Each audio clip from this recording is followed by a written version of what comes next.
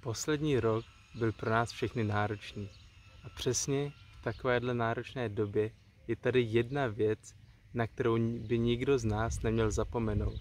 A to je mít sám sebe rád a vyjádřit tu lásku sám sobě.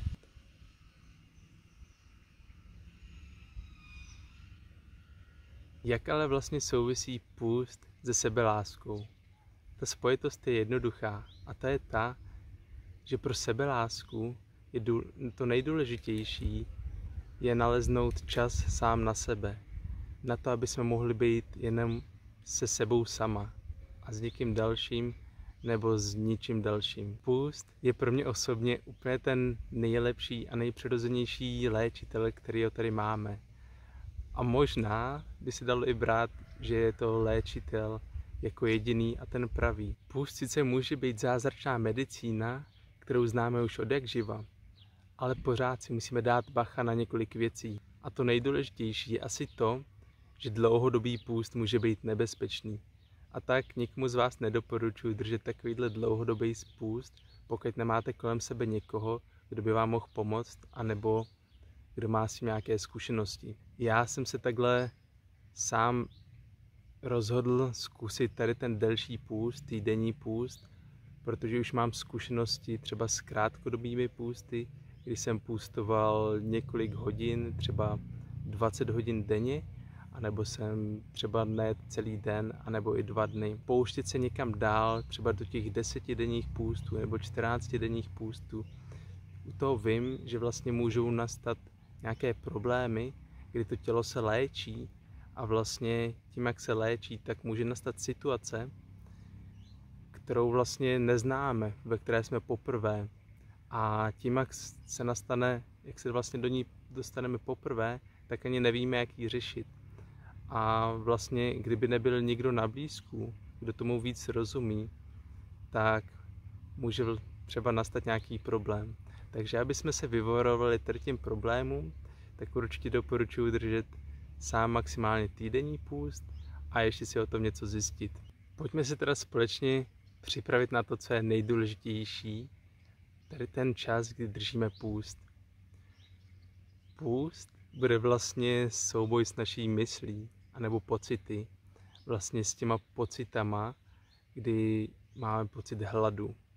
A většinou vlastně nejíme, protože máme hlad, ale jíme, protože jsme na to navyklí a že nám jenom tělo vysílá signál, máš hlad a my tady v ten moment vždycky většinou něco sníme. A tím pádem, když držíme půst, tak se snažíme rozbít tady ten návyk. A tím, že ho chceme rozbít, tak vždycky musíme bojovat s těma emocema, s tím signálem. S tím signálem máš hlad, máš hlad, máš hlad. A prostě ho jakoby můžeme o něm vědět, že tam je, ale chcete, aby jsme na něj nereagovali. Prostě ho necháme být a budeme plout nějak dál. Další důležitá věc ohledně půstu je práce s energií. Když přestaneme jíst, tak většina z nás přijde o hlavní zdroj energie. Jsou tady tací, co se naučili žít na základě přírodní energie, ale většina z nás je vlastně navyklá na tu fyzickou energii, na tu energii sídla, kdy něco jíme. A proto, když přestaneme jíst, tak vlastně my neumíme přijímat tu energii z těch ostatních zdrojů. Tím, že přijdeme o ten náš hlavní zdroj energie, tak se na to nějak musíme i připravit. První nejdůležitější věc teda je udělat si čas, klid na sebe sama, někde v přírodě, kde máme vlastně, kde jsme vlastně i od všech nějakých těch externích faktorů, počítačů, internetu, mobilů a dalších rušivých signálů, ale ideálně, když jsme někde na samotě u lesa, kde máme kolem sebe jenom přírodu, čistý vzduch a další, tak vlastně můžeme načerpat nějakou tu energii z těch přírodních zdrojů, tu životní energii kolem nás, kdy třeba děláme nějaké dýchací techniky, anebo jenom tím, že chodíme třeba někde na boso po trávě, anebo že jako náš prezident třeba objímáme stromy, jako to dělal dřív. Jak už jsem zmínil, během půstu bychom měli zachovat tu naši energii a nedělat náročné aktivity. Takže aktivity, které vlastně budu takhle během dne dělat, tak jsou jenom sezení nebo nějaké ležení, meditace, lehká yoga, prostě nic, co by nějak zatěžovalo ten organismus a naopak něco, co nám vlastně pomůže načerpat tu životní energii, anebo třeba pracovat na sebe, na sobě samém. Třeba to a využít toho, že máme to tělo čistější pro tu meditaci, protože vlastně i tam ten, ten půst nám pomůže tady v těch praktikách, těch spirituálních a duchovních praktikách, vlastně kdy jsme čistí a není tady žádná ta fyzická blokace toho jídla, kdy zatěžujeme ten organismus a my vlastně se máme větší šanci se propojit s tou energií a s tou silou kolem nás, anebo vlastně se sebou samým.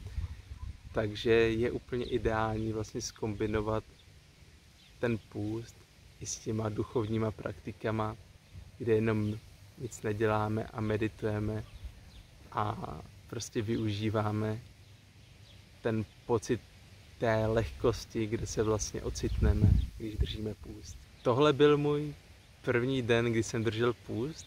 Zkušenosti s jednodenním půstem už mám, takže vím, že hlavní je vlastně se asi vždycky na to jenom připravit.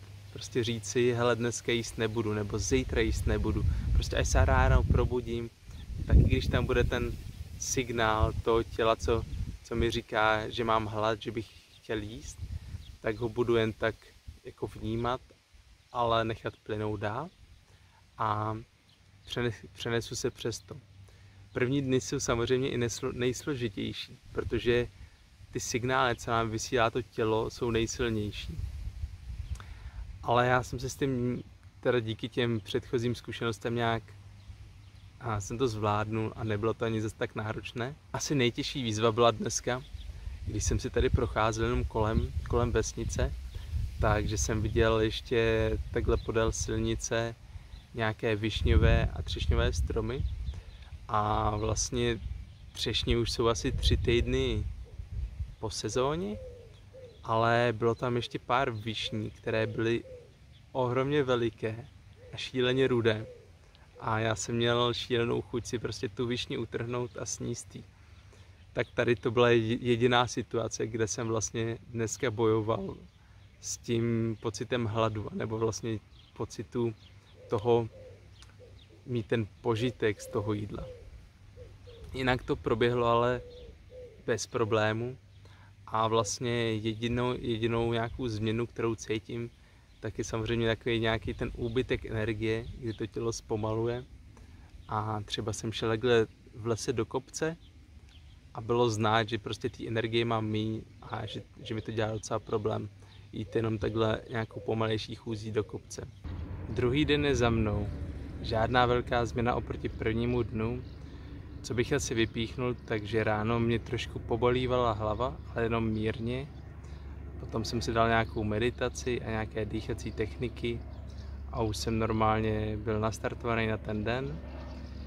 Samozřejmě zase jsem se snažil dělat co nejméně, co je potřeba, ale můj děda i na jeho věk, 87 let, je dost akční takže ten měl někam nakoupit a vrátit nějaký noviny, tak jsem měl s ním a to byla asi nejtěžší práce, teda, že, jsem, že jsem tam musel dávat noviny na váhu, který měl asi 17 kg a jednak nic náročného. Teď odpoledne jsme ještě teda zavařivali, tak jsme si jenom hráli ze zeleninou a krájeli jsme to a spali jsme to do sklenic. Takže taková, taková pohodička, která mě nějak nezatěžovala.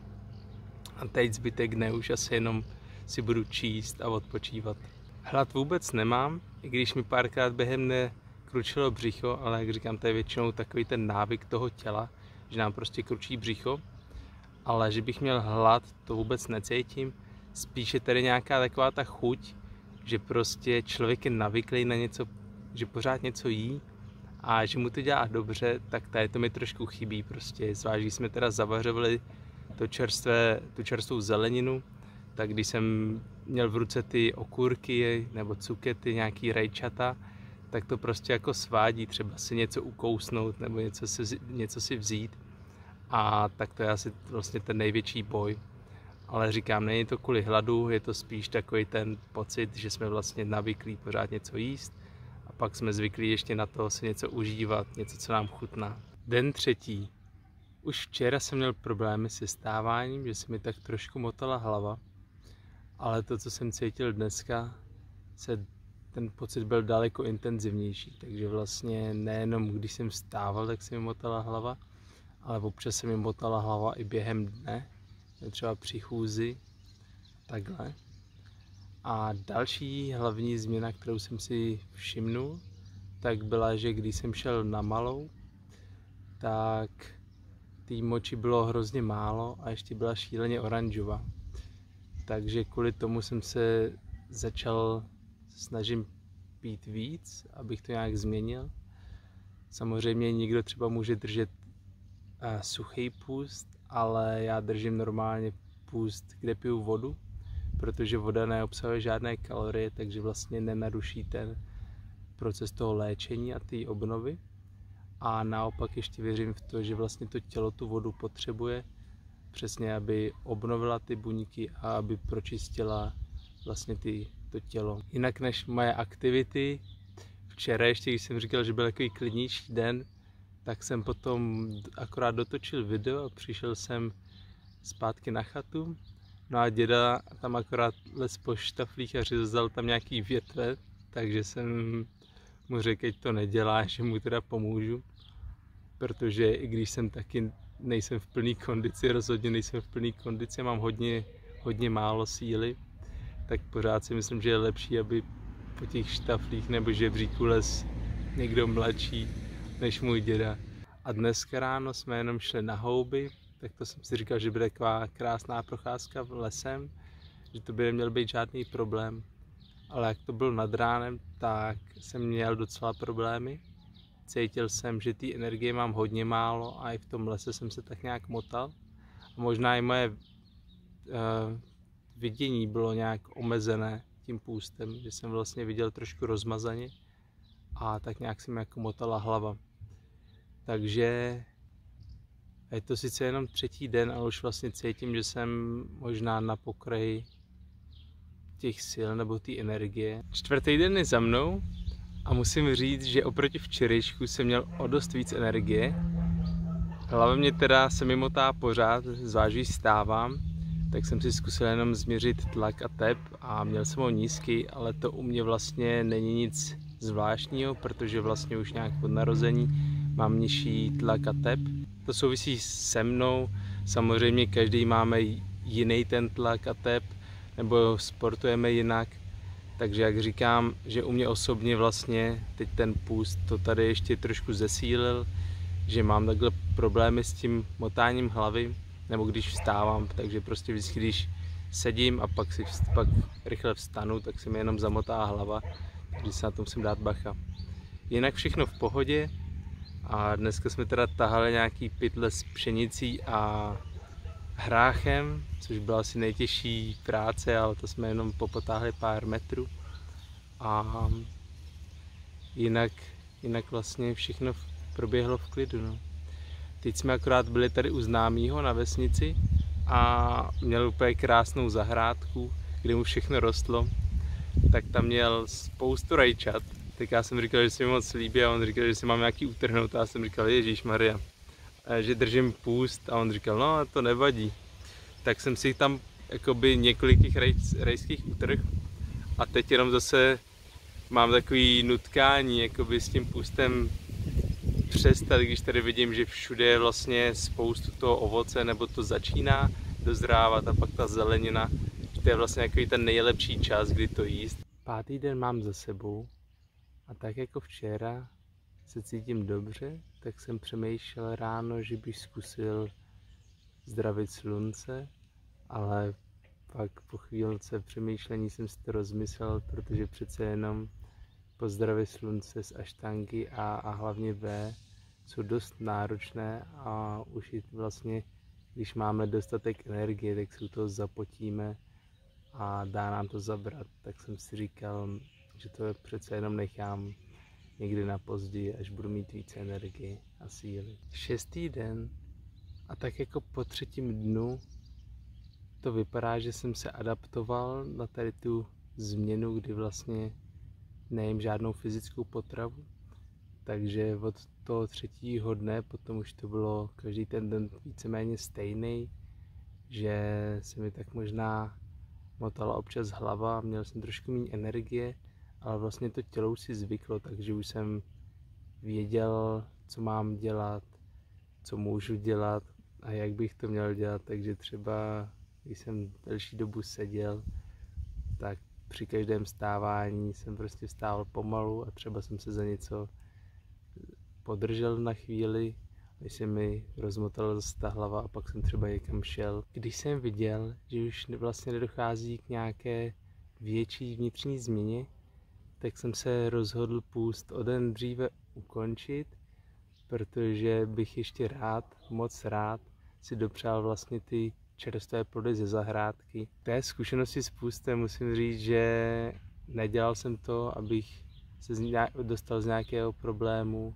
abych se z něčeho vyléčil, abych třeba vyléčil nějakou nemoc, nebo se dostal třeba z nějakého stavu, kdy jsem na něčem závislý, nebo třeba z nějakého přejídání, abych přerušil nějaký ten zvyk.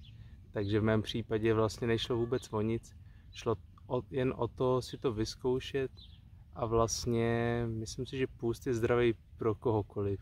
Ať už je vaše dieta jakákoliv, ať už jíte jenom ovoce, nebo jíte třeba nějakou živou stravu, anebo nějakou celistou veganskou stravu, můžete jíst cokoliv, ať už je ta vaše strava nějaká bio, lokální, jakákoliv, tak pro každého nebo každý z nás určitě získá nějaké výhody, když takhle jednou za čas bude půstovat, protože to tělo, třeba to ani nemusíme cítit, ale v tom těle by mělo dojít nějak vnitřně k nějakému procesu obnovy.